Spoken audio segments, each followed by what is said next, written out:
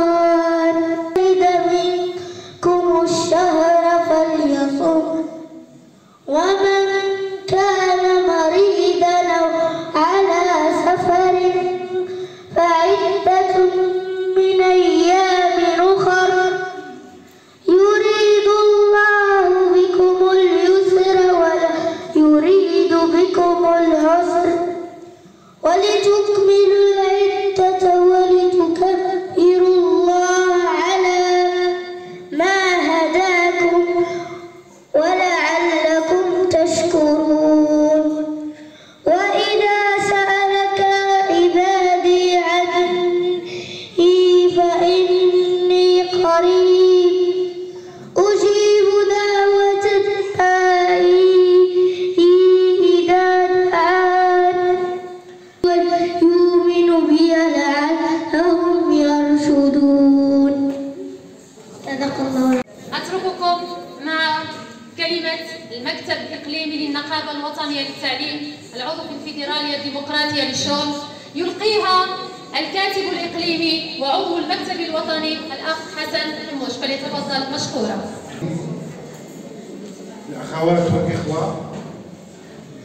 الكريم. في البداية لابد أن أشكر جزيل الشكر باسم إخواني في المكتب الإقليمي باسم إخواني وأخواتي في المكتب الإقليمي السيد المدير الإقليمي الذي وضع هذه القاعة رغم إشارة النقابة الوطنية للتعليم لإقامة هذا الحفل البهيج.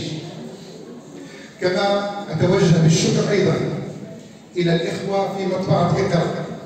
الذين قدموا لنا كل التسهيلات. ونحن نعد ونهيئ لهذا الحفل المتواضع بدءا بالدعوات واللافتات وانتهاء بالشواهد والتذكارات. أيضا لا بد أن أتوجه بتحية خاصة إلى الأخوات والإخوة في المؤسسات التعليمية على الأقل المؤسسات التي سمح لنا الوقت بزيارتها في كل من أزغمان وابن شكر وفرخانة وابن نصار والناظور وسلوان ولا أتحدث هنا عن مدى تجاوب نسبة كبيرة من الأخوات والإخوة مع دعوة النقابة الوطنية للتعليم لأن هذا التجاوب كان سلسا وكان تلقائيا ولكنني أريد أن أنقل لكم أن أنقل لكم اعتذارات الكثير منهم الذين كانوا يودون الحضور ويشاركون هذا الحفل. المتواضع ولكنهم تغيروا بسبب إكراهات خارج خارج عن الإرادة. العيد الأممي لهذه السنة 8 مارس 2024 اختارت نقابتنا النقابة الوطنية للتعليم العضو في الفيدرالية الديمقراطية للشغل أن تنظمه تحت شعار إدماج مقاربة النوع الاجتماعي بالبرامج والمناهج التربوية مدخل أساسي للالتقاء بوضعية المرأة داخل المجتمع. ونحن نحتفل بهذا اليوم في ظل السياقات المتعددة. لا مجال للدخول في التفاصيل ولكن فقط لزاما يجب أن أذكر بأن هذا الحفل يتزامن هذه السنة مع إصدار النظام الأساسي الجديد الخاص بموظفي وزارة التربية الوطنية والتعليم الأولي والرياضة بشريدة رسمية بعد سلسلة من اللقاءات التقنية استمرت أكثر من سنتين وبعد مفاوضات شاقة وعسيرة مع الأطراف الحكومية المعنية والأهم من كل هذا وذاك بعد حراك تعليمي دام ما يقارب ثلاثة أشهر. سياق آخر سياق اجتماعي يتميز بارتفاع الأسعار وتدهور الكتلة الشرائية لعموم المواطنات والمواطنين والسياق وطني يتميز بانطلاق المشاورات حول تعديل مدونة الأسرة وأخيرا سياق عربي مؤلم بسبب الأوضاع الكارثية في غزة جراء حرب إبادة التي تشنها إسرائيل على الشعب الفلسطيني من قتل وتشريد والتشويع وتدبير المنهج للبنيه التحتيه خاصة المدارس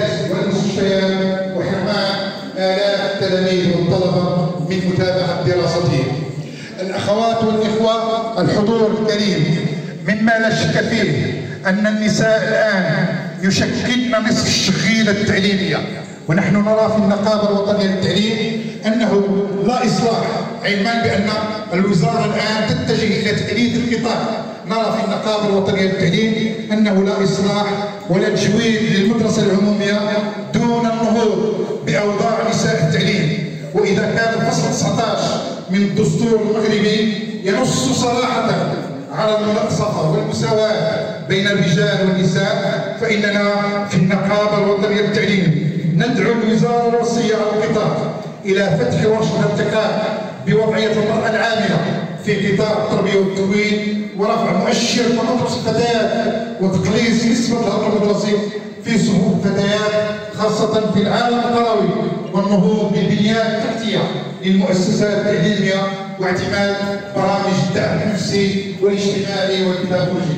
الأخوات والإخوة رغم المجهودات المبذولة في القطاع سواء على مستوى التدبير الإداري أو على مستوى التدبير التربوي أو حتى على مستوى الممارسات الصفيه لا زالت هناك أرقام صادمة كشفت عنها تقارير رسمية خاصة المجلس الأعلى للتربيه والتكوين هذه التقارير حول مستوى التلاميذ المغاربة في مواد بعينها أرقام تدق ناقوس خطر حقيقي حول مستقبل التعليم في بلادنا 76% من التلاميذ المغاربة لا يتوفرون على الحد الأدنى من الكفايات المطلوبة في مادة الرياضيات. 69% من التلاميذ المغاربة البالغين سن 15 سنة والذين يتابعون دراستهم في الاولى اعدادي لا يتوفرون على الكفايات المطلوبة في العلوم بالإضافة إلى أرقام أخرى في مواد أخرى خاصة اللغات. أرقام صادمة فعلا تحتاج منا جميعا إلى وقفة تأمل حقيقية من أجل تغيير مختلف المناهج والبرامج التي صرفت عليها أموال طائلة في الأسابيع الماضية بتنصيب لجنة المناهج والبرامج والتي ستجتمع قريبا بحضور كتاب النقابات القطاعيه الاكثر تمثيليه وسيكون على جدول أعمالها بالإضافة إلى النقط المتعلقة بمراجعة المناهج نقطة مهمة بارزه كانت تتفق في سقف المطالب مطالب الحراك التعليمي ألا وهي تقليص ساعات العمل بالنسبة للاخوات والإخوة في السلك الابتدائي من 30 ساعة إلى 24 ساعة. الأخوات والإخوة نحن نخلد هذا اليوم الأممي يجدر بنا لزوما أن نثير الانتباه كذلك إلى الوضعيات الكارثية التي تعيشها النساء في البوادي والنساء في مجتمعات الرحال والعاملات الزراعيات والطبقة العاملة النسائية وكثير من النساء في وضعية الهشاشة أو في وضعيات دون عتبة خفض الفقر. لابد من أن نثير الانتباه كلما اقتضت الضروره ذلك في برامجنا الترفع في ملفاتنا الترفعيه وفي برامجنا النضالية وستكون المرأة في قلب كل هذا الحراك. أخيرا أخيرا أخوات والاخوه أختم بقوله مشهورة لجلال الدين الرومي يقول إنما المرأة من نور الله فهي ليست مجرد حبيبة أو حتى مخلوقة بل إنها خلاقة. فعلا المرأة خلاقة ومبدعة وقادرة على بناء صلح الأمم والشعوب. وأنتم جميعا تمتلكن ما يكفي من القوة لمواصلة المسير. مواصلة المسير معا. شكرا لكن وعيدكن مبارك سعيد.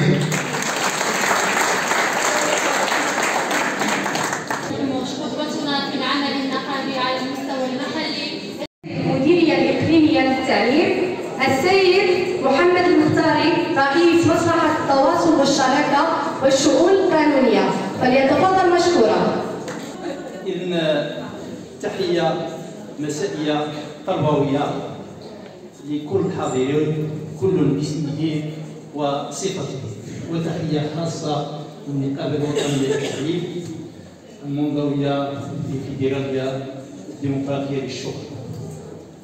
كما دأبت هذه النقابة سنويا على إحياء هذا اليوم العالمي.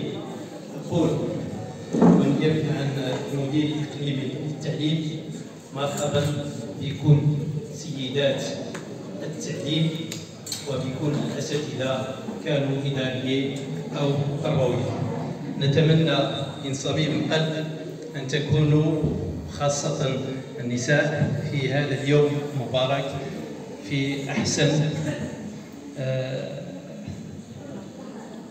في أحسن وضع ونتمنى لكن التوفيق في عملكن التربوي وفي حياتكن اليومية. والسلام عليكم ورحمة الله وبركاته.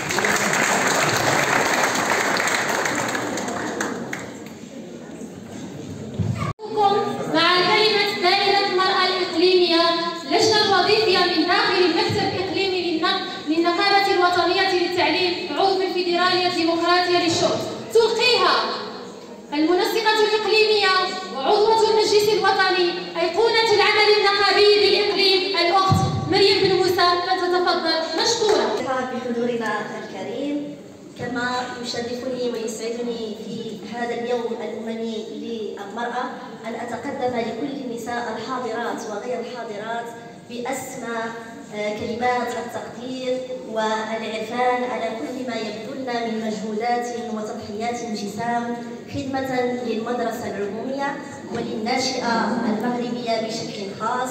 وكذا دور المرأة الاقتصادية والسياسية والثقافية والاجتماعية بشكل عام. كما هو معروف أن النقابة الوطنية للتعليم العضو في الفيدرالية الديمقراطية للشغل تنبني على خمس مرتكزات تتمثل في الوحدوية الجماهيرية التقدمية الديمقراطية والاستقلالية. وشعارها التاريخي منذ الستينيات هو ترسيخ الحداثة والديمقراطية وثقافة النوع. وتناغما مع مرتكزاتها وهذا الشعار التاريخي اعتمدت النقابة الوطنية للتعليم على آليتين. أولا هيكلة دوائر المرأة على المستوى التنظيمي الوطني والجهوي والإقليمي. وثانيا تخصيص نسبة للقوطة النسائية وذلك لضمان التمثيلية للنساء آه، نظرا لسيرورة تاريخية ترتب عنها التهميش والإقصاء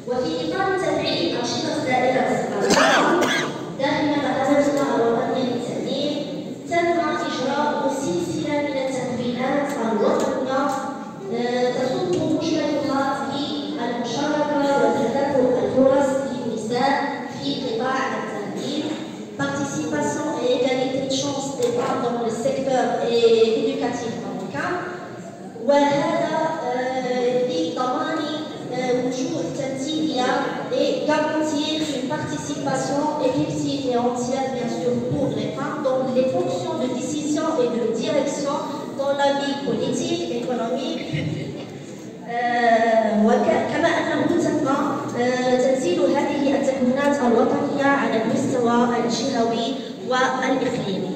إذا قبل أن أختم كلمتي يجب أن أردد شعار دائرة المرأة لثمانية مارس 2024 داخل النقابه الوطنيه للتعليم إدماج مقاربه النوع الاجتماعي بالبرامج والمناهج التربوية مدخل أساسي للارتقاء بوضعية المرأة داخل المجتمع. وشكرا.